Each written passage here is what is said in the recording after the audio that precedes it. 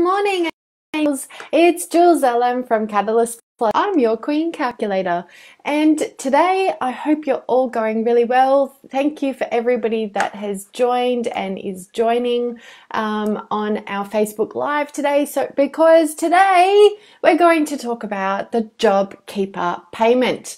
It is now legislated. Woohoo, that's great. It's all happening. It's the $1,500 per fortnight for eligible employers for their employees. This is just a very basic wage. Um, it's a minimum a minimum payment, so um, so well a minimum and maximum payment. So it's a flat rate that you're going to get for your employees if your business has had significant turnover reduction over the um, due to COVID nineteen. It's a 30% reduction is what you need to, to prove and show on your business activity statement. And we're also looking at how um, how it's going to be implemented.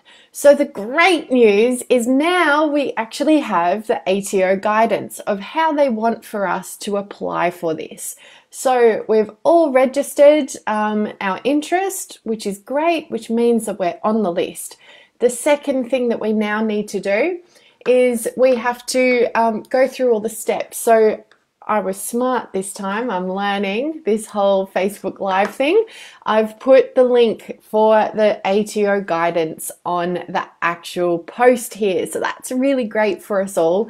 Um, you can use it as a reference point What you need to do is make sure that you're going through the steps. So, um, so the first thing is to figure out if you're an eligible employer, and that's basically um, for most of the businesses that are looking um, into our world, um, into our calculator world, the Catalyst Plus calculator world, is the um, the thirty percent reduction in turnover or um, if you're less than a billion dollars in turnover. So that's that's pretty much the number that we're all looking at.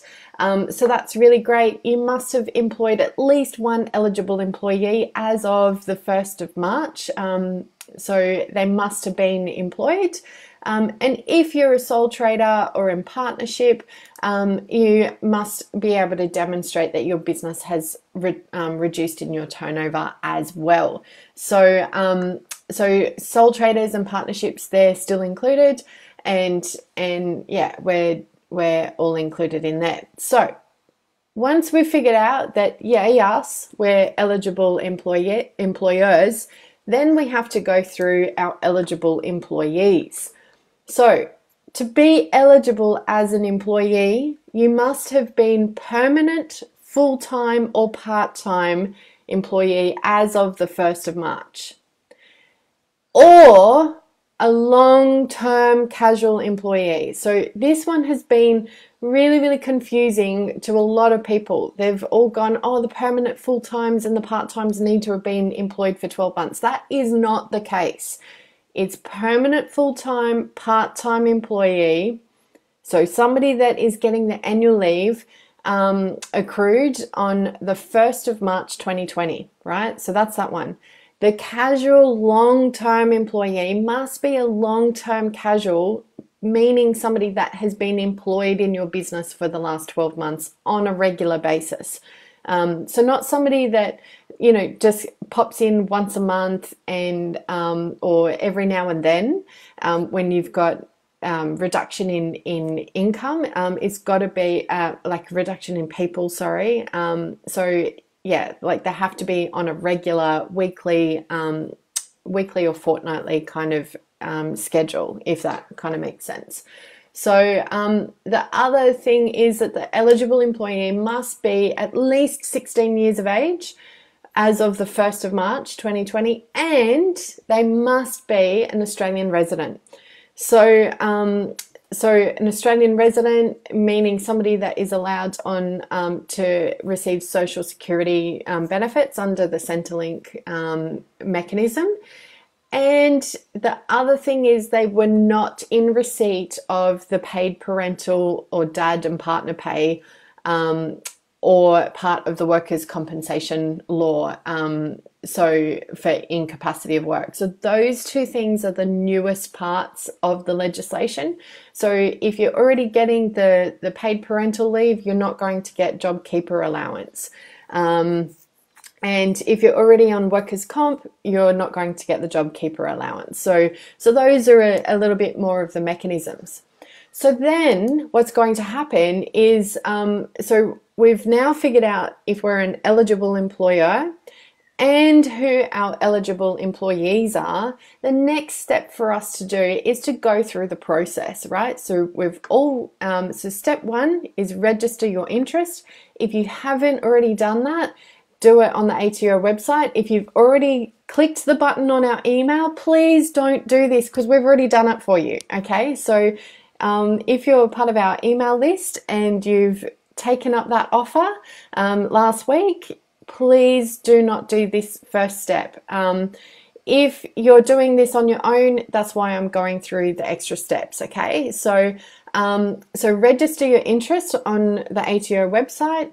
We've checked our employees and employers meet the eligibility requirements, and now the step three is where it gets really gritty we need to make sure that we've paid the $1,500 to each eligible employee for the JobKeeper fortnight from the fortnight beginning the 30th of March all the way. Um, so there's the 30th of March, and then I think it's the 12th of April. And both of those payments, so the $3,000 for those four weeks, must be physically paid to the employees as of the 30th of April. Um, if you don't do that, in May, when we go to claim it, you won't be entitled to the money. So, um, so we, so that's a real kicker. But you cannot do that payment unless you've filled in um, a JobKeeper employee nomination notice. Okay, so if you're already on our list and you've already signed up, we're going to send you an email to tell you we're doing a special webinar with your steps outlined. Um, if you are doing this on your own, the link that I've I've got on this this post is definitely going to help you and make sure that um, you can follow these steps step by step. Um, so yeah, it is a little bit complex, but that's that's the nature of this. Um, once you've got that nomination notice and you've paid the employees and you've notified your um, employees that you're going to claim for them, um, then what you need to do is from the 20th of April, you will enroll with the JobKeeper payment using the business portal, or for us, the good old tax agent portal for you. Um, and then every single month, we have to keep complying with this. Okay, so every single month we're going to have to um, say, yes, we definitely are still entitled to this JobKeeper allowance. Please pay us. We've already paid our employees. So it's going to be a payment in arrears after you've already paid your employees for the JobKeeper allowance.